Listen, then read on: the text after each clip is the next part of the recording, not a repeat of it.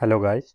So this is the problem number 4 in our book and uh, today we are going to calculate the total impedance of the circuits in figure 15.123 uh, this is basically the figure where the sub figures are a b and c uh, and here we have to express our answers in rectangular and polar forms and draw the impedance diagram okay?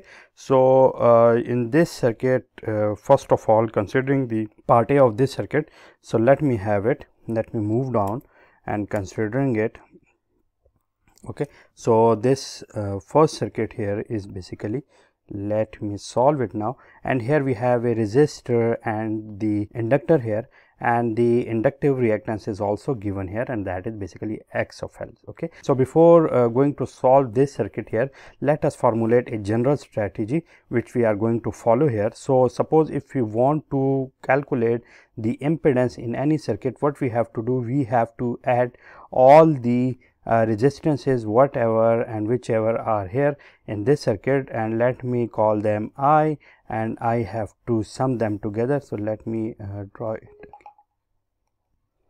So, uh, Z equal to the all the resistances okay then what we have to do we have to look for all the inductances which are available in our circuit and we have to add it with this one like plus inserted j and after it I have to add them like let me call it k. So, in this k what I have to do I have to add all the inductances and let me call them k okay. So, these are all the inductances which I have to add together and similarly after it minus j and add all the capacitive reactances okay. So, these are basically L. Okay. So, in this strategy at the end we will get the simplified impedance which will be composed of some component x plus j capital Y or it can be minus as well. So, this will be the cumulative impedance of our circuit. Okay. So, we are going to follow the same strategy here. So, in our uh, circuit A what is basically the resistance. So, let me call it Z of A and in Z of A we have uh, only one resistance. So, that is basically the R and what is uh, here we have there a here we have basically the inductor. So, writing plus J here and with plus J I have only one inductor. So, let me write only one value here. Now, writing its values here. So, it would be 6.8 plus j x of L is 8.2.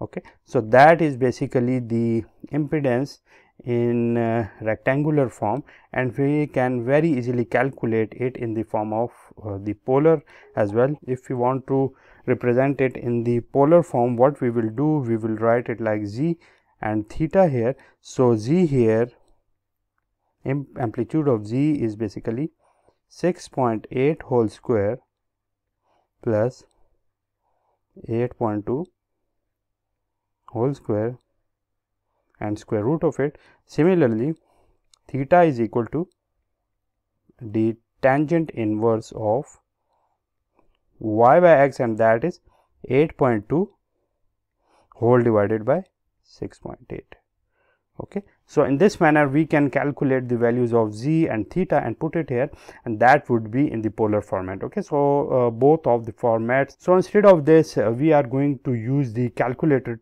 trick here and uh, in calculating it what we have to do let me first use this mode here and in mode I am going to select 2 which is the complex mode. Okay. So, in the complex mode what I am going to do here first of all let me write my values which are given here in the uh, rectangular form. So, 6.8 plus 8.2 and with it I have to write the iota because uh, this calculator doesn't have the j term. So, let me write iota here. So, uh, once I have written it, it will be like this one or I can write it like this. Okay. So, in order to convert it into the polar form after writing it in the rectangular form what we have to do let us press shift here and here we can see that uh, in 2 it is written the complex here. So, pressing 2 here we will see that there are basically four options. And as we want to convert our rectangular form into the polar form so it is the third option. So now uh, pressing 3 here and uh, uh, you will see that answer will be converted.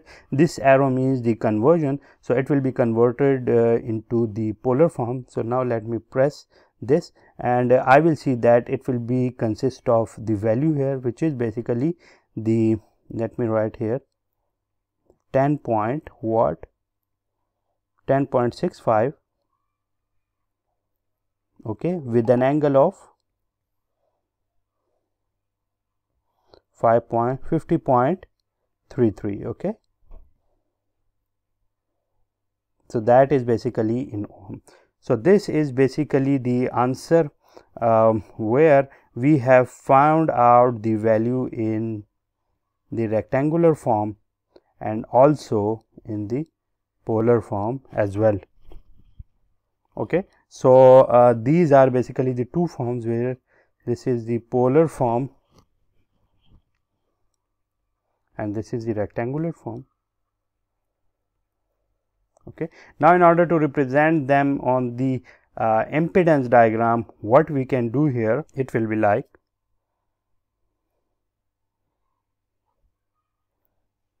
here. The angle it will make will be 50.33 while the amplitude here will be 10.65 okay? So that is the answer of part a where we have calculated all the values which were required. Similarly in order to solve the uh, part b of our question let me come over here okay? So again following the same procedure or the same formulation which we have uh, developed here. So, now let me see that how many items do you have. So, I have two resistors and uh, one storing element and that is the capacitor here. So, in order to write the ZA here what I have to do I have to add R1 plus R2 okay? And so as we have the capacitor here in order to represent the capacitive reactance here what we have to do I have to write here minus J and uh, then I will have to write the X of C okay? Writing their values what I will get sorry that is basically the ZB. So, ZB is equal to R1 which is 2 ohm plus 10 ohm and minus J the value of XC is 6 ohm. Okay.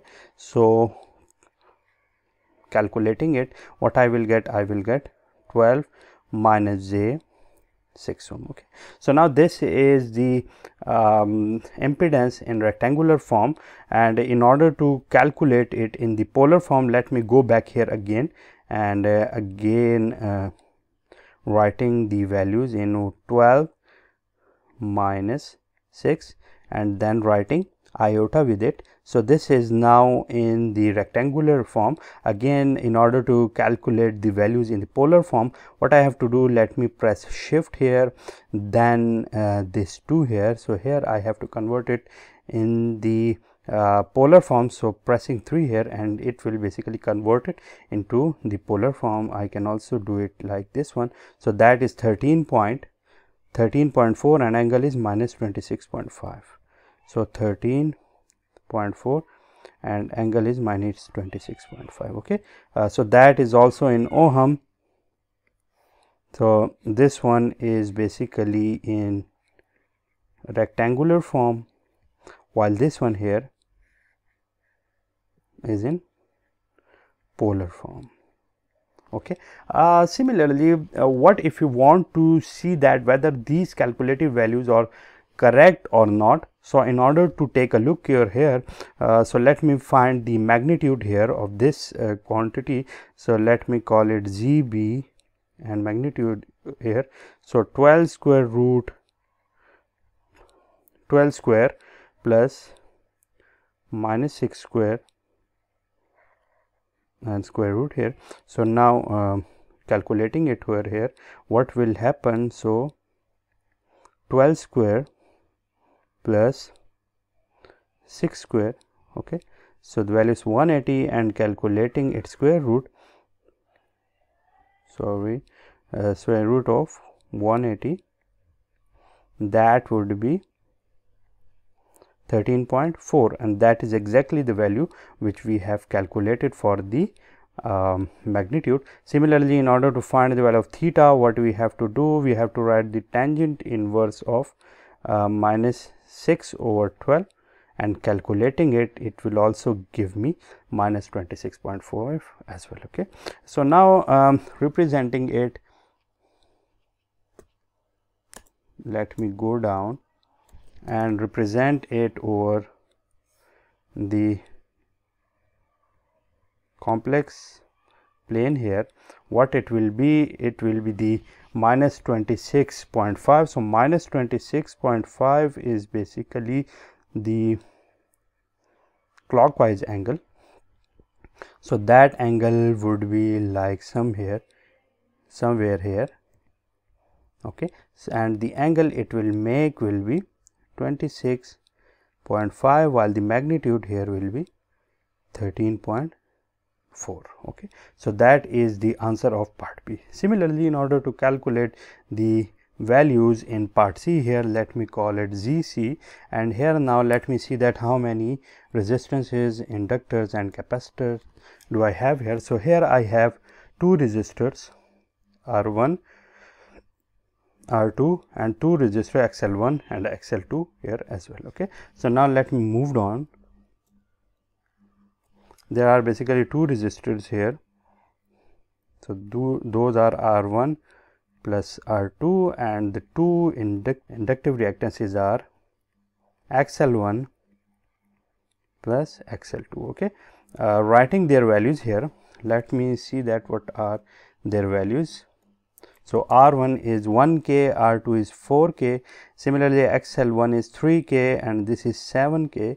So, R 1 is 1 plus 4 is 5, similarly 3 plus 7 is 10. So, writing it here 5 k plus j 10 k. So, that is basically the total impedance in the circuit given in part C and this is again in the rectangular form. So, now calculating it in the polar form let me move again to the calculator. Okay. So, here 5000 plus 10,000 and writing iota with it it will be like this one okay? So this is my value and in order to convert it into the uh, polar form what i have to do i have to press shift and complex and writing 3 here and equal equal to that is 11180 okay? So 11180 point something and that something is 0.33 point 33 or 3 4 and the angle it makes with the plane is basically the 63.43 and this is in ohm okay? So now we have our answer. The first one here is basically in the form of the rectangular form while the second one here is basically in the polar form okay uh, so that is basically the answer um, I hope you have understood all the steps which we have carried out in this problem. Here the formulation which we will be using throughout in this chapter and this formulation is very important for you to grasp the concepts in impedance calculation. So, thank you so much and I will see you with some more examples in our upcoming videos. Stay tuned and I will see you soon.